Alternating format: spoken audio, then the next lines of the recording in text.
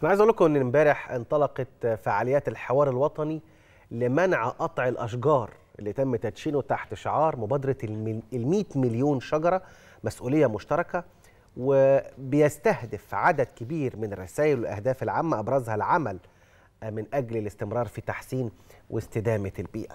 خلينا نتعرف على تفاصيل أكتر من الدكتور علي أبو سن رئيس جهاز شؤون البيئة منورنا على التليفون. صباح الخير على حضرتك يا فندم وبعد التحية لو تعرفنا على إيه هي الأعمال والفعاليات اللي بيشتمل عليها الحوار الوطني لمنع قطع الأشجار واللي بيتم تدشينه تحت شعار مبادرة ال 100 مليون شجرة مسؤولية مشتركة.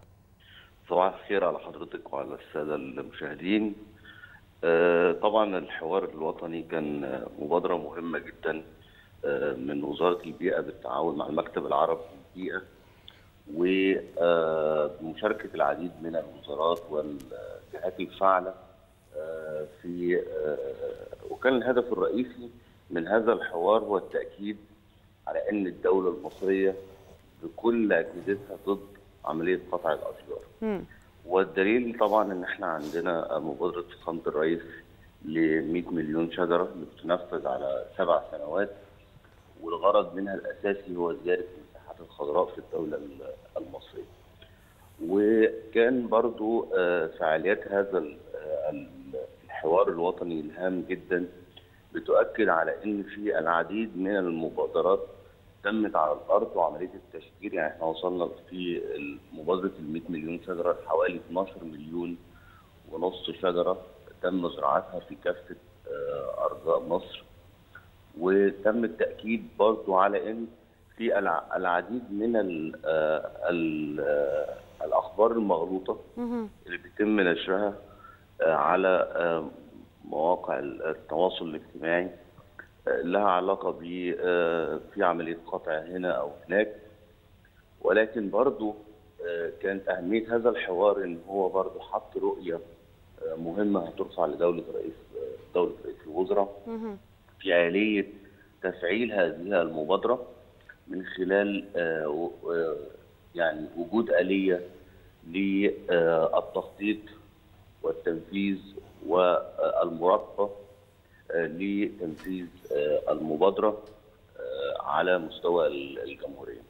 وأعتقد دي كانت أحد النتائج الهامة جدا لهذه لهذا الحوار الوطني اللي شارك فيه المجتمع المدني بشكل كبير جدا. وتم برضو في هذا الحوار الاتفاق على إن في الحاجة من الآليات الداعمة لهذه المبادرة على سبيل المثال عمليات التدريب للموظفين والعاملين في هذا القطاع على عملية التشجير ضرورة إن يكون في وعي وحملة توعوية كبيرة لنتائج عملية التشجير على مستوى الجمهورية. تمام. آه يعني فدي كانت برضو من الحاجات المهمة جدا في هذا الحوار الهام اللي تم امبارح، لكن كان أهمه التأكيد بشكل كبير إن الدولة المصرية آه وعلى على على مستوى الحكومة وعلى مستوى كل الأجهزة ضد عملية قطع الأشجار بأي حال من الأحوال. طيب خليني برضه أكثر وضوحا مع حضرتك. في أحياء يمكن يعني تضرر أهلها بشكل كبير من آآ آآ اختفاء بعض الأشجار زي حي مصر الجديدة مثلا، هل في هل حضراتكم يعني حاطين حملة من أجل يعني عودة التشجير بشكل ما أو بآخر من أجل تعويض المساحات الخضراء اللي يعني قطعت في هذا الحي؟ على سبيل المثال أنا أعلم أن الحملة في كل أنحاء الجمهورية ولكن أنا بتكلم في بعض الناس اللي اشتكت. ده ده سؤال مهم جدا زي ما حضرتك قلت. بنتكلم دلوقتي على المساحات الخضراء. كلمة مساحات خضراء لا تشمل فقط الأشجار. ولكن تشمل كل أنواع التشجير بكافة أنواعه يعني. فحته التعويض دي أساسية ومهمة وفي كل أنحاء العالم. طبعا زي ما حضرتك عارف في بعض الأماكن يتطلب التخطيط العمراني أو التنمية العمرانية أو بعض الأنشطة القومية إن إحنا بيكون في بعض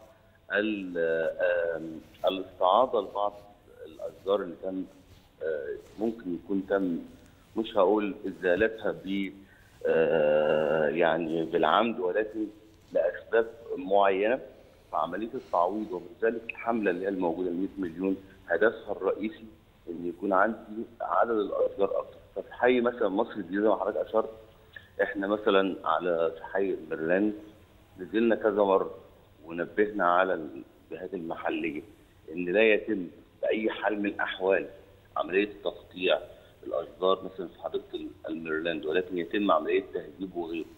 ولو تم بعض الحالات لو أنا بعمل طريق أو غيره بعض الإزالة البسيطة يتم استعاضتها بأعداد كبيرة من الأشجار. وهو ده من الأحياء برضو المهمة إن إحنا بنهتم في عملية التشجير فيها ضمن حملة أيوه بس الميريلاند ده جزء كبير من حي كان بيزخر يعني بيزخر بعدد كبير من الأشجار. وخليني أقول لحضرتك إن يعني على سبيل الاقتراحات اللي موجودة من هذا الحي وأنا أفخر إن أنا يعني أحد أبنائه ال ال ال ال الزراعة على الكباري اللي هي الأشجار المعلقة اسمها أعتقد أو المتسلقة. أيوه. على سبيل المثال يعني لأن كان في رقعة خضراء كبيرة. أنا بتكلم برضو وده نموذج. في نماذج كتير برضو متضررة. ده طبعا ضمن الخطة زي ما حضرتك أشرت. مبدأ الاستعاضه ووجود أعداد من الأشجار وعلى عكس يكون أكتر وموجود ده مهم جدا جدا وضمن هذه الحملة. عشان كده كنا بنقول لازم يكون عندنا إحنا ما عندناش خريطة على مستوى الجمهورية لعمليه التشجير ده أحد برضو الحاجات اللي بتقاس في الحوار الوطني عشان أبدأ عملية التخطيط لازم أعرف الأول على مستوى الجمهورية إيه الأماكن اللي فيها إن أنا بعمل فيها تشجير والأماكن اللي أنا بعمل فيها استعاضة عشان نقدر حتى نبين للناس مدى الجهد اللي بيتم. فدي طبعا من الحاجات الهامة جدا جدا تم مناقشتها أمس في الحوار الوطني. طيب دكتور علي يعني أكيد برضو خلال مناقشة حضراتكم حول هذا الملف أكيد تطرقتوا لفكرة التوصيات أو خرجتوا بتوصيات وكمان يعني تطرقتوا لفكرة آلية اولا منع قطع الأشجار وحتى آلية الأسباب أو آلية حتى يعني فكرة قطع الأشجار زي ما كنا بنتكلم وزي ما حضرتك بتتكلم مع مصطفى أكيد في آلية حتى لو في سبب يستدعي إنه يحصل قطع الأشجار أو تقليص المساحة المنزرعة أو المساحة الخضراء في أي حي من الأحياء. بالظبط بالظبط دي برضو من كانت أحد الحاجات المهمة إن من حق المواطن في أي منطقة لو أنا هقوم بعملية تنموية لازم يكون معروف وموجود. وفي جهة بتجيز عملية لو في بعض الحاجات حاجات تقطيع هي اللي تجيز هذه العملية. فدي برضو من آليات الحوكمة بتاعت هذه عملية اولا الزراعة وعملية لو في بعض الازاله البسيطه يعني على سبيل على سبيل المثال انتشرت برضو على على ال social media إن بيتم تقطيع مثلا أشجار حديقة الحيوان وده منافي تماما للحقيقه لأن في خبير جابته الدولة من جنوب أفريقيا كان بمراجعة هذه الحديقة وتطويرها وأشار إن في ثلاث شجرات هيتم فقط إزالتهم ولكن لأسباب إن هي فيها تسوس كبير جدا وقايله للسقوط.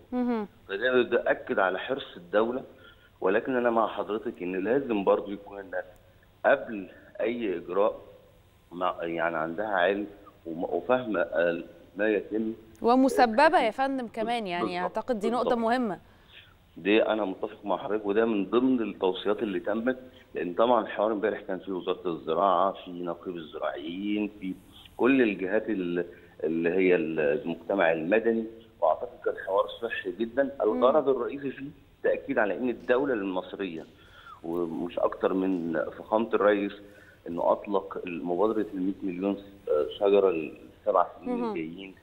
فبلا بلا جدال بكل تأكيد يا دكتور يا دكتور علي الحقيقة حتى يعني وإحنا بنتكلم في ضوء هذه المبادرة مش معقول بنبقى بنعمل على هذه المبادرة مبادرة 100 مليون شجرة وعلى الجانب الآخر نبقى إحنا أصلا بنقطع الأشجار وبنقلص المساحة المنزرعة والمساحه الخضراء. فيعني أنا بشكر حضرتك شكرا جزيلا وأكيد هو التطرق لهذا الملف هو مهم جدا جدا جدا. شكرا لحضرتك دكتور علي أبو سنة رئيس جهاز شؤون البيئة. شكرا يا فندم.